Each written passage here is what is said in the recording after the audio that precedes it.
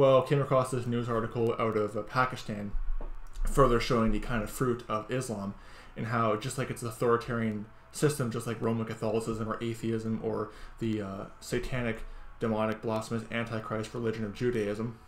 But it says here in this article on jihadwatch.org, it says Christian declines to convert to Islam is falsely accused of blasphemy and imprisoned.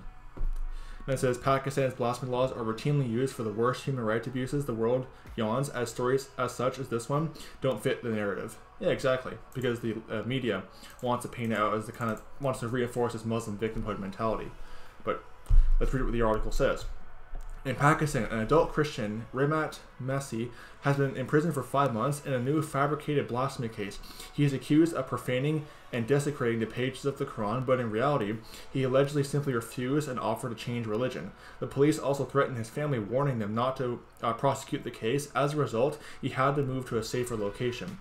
Uh, Rimat, 44 years old, the father of two teenage children, has worked for 20 years as a cleaner at the Zamzam Publishing House which was responsible for printing and, and, binding the Muslim holy text. The owners and employees had offered him to convert to Islam, but he repeatedly he but he had repeatedly refused to change religion.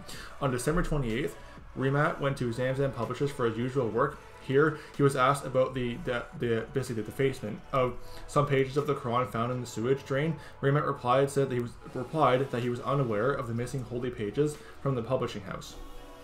Yeah, and by the way, the Quran is not holy; it's an unholy uh, blasphemous rabble, just like the Book of Mormon, essentially, uh, which was inspired by devils. But I call it the unholy Quran. But it says here on January 3rd, 2022, police arrested Rimat Masih, accusing him of committing blasphemy and tortured him severely to make him admit to desec- desecrating uh, the, the Quran, an offense under Section 295B of the Pakistan Penal Code, punishable, punishable by life imprisonment. On the 19th of January 2022, a bail application was fired or was filed, sorry, for the defendant, but the judge rejected it. In a hearing held on May 31st, 2022, Rimat uh, had a statement placed on the record before the honorary judge in which he stated that he does not plead guilty to the charge of blasphemy brought against him. Yeah, good for standing up for himself because he didn't do anything wrong. And even if he did, there's nothing morally wrong with blaspheming the Quran because why? It's a demonic blasphemous book. I mean, Jesus Christ has no issue with blaspheming the Quran.